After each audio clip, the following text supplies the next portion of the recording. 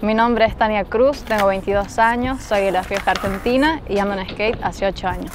Eh, empecé a patinar cuando mi hermana más chica, Laura, les regalaron un skate por su cumpleaños. Y yo hacía un millón de deportes. Eh, hacía gimnasia artística, karate, natación, danzas clásicas, árabes y patinábamos en la vereda de mi casa todos los días. Eh, cuando comencé a patinar fue como que me, atrapó mucho el hecho de que no ser algo muy distinto, como que no había ninguna regla, entonces eh, solamente divertirnos. Y además de todo eso es como la sensación que me daba como bajar un truco nuevo, aprender un truco nuevo, es como era totalmente inexplicable y no se comparaba con ninguno de los otros deportes que hacía. Cuando terminé el colegio, que igual lo terminé como con mucho esfuerzo porque el último año eh, estaba como demasiado atrapada con el skate, entonces no iba al colegio, me escapaba, me iba a patinar todo el día. Eh, en mi ciudad no había mucho skatepark y ni, tanta, ni tanto skate, entonces decidí irme a Córdoba y estuvo buenísimo. Estuve viviendo un año y medio en Córdoba y como fue muy bien ese año en la universidad, me puse a trabajar todo el verano eh, para poder estudiar sin tener que trabajar, pero cuando ya tenía toda la plata ahí, dije, me alcanza para irme a Europa, así que me vine.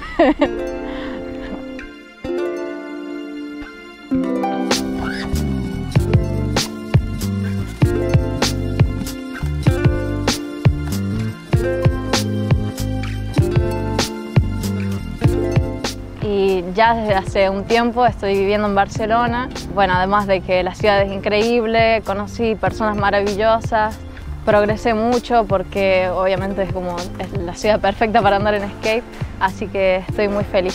Bueno, mis proyectos son, en primer lugar, que me gustaría concretar un sueño, que es hacer una videoparte aquí en Barcelona.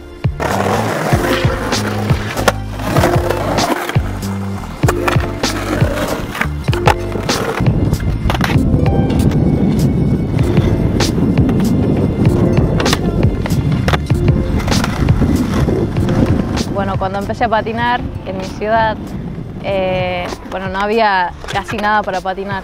Patinábamos en, la calle, que estaba recién asfaltada. No había skatepark, no había casi ninguna chica que patine, pero bueno, con mi hermana patinábamos como saltando ramitas o botellitas de plástico en la vereda de mi casa.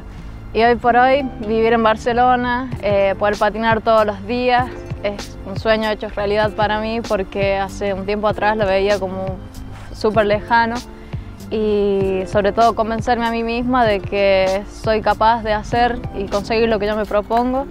Eh, creo que es algo que me lo dio el skate, eh, de abrir la mente, de quitarme el no puedo de la boca y sobre todo de la cabeza porque es como súper importante la confianza que uno tiene en sí mismo y entonces creo que eso es algo súper lindo que me brinda el skate.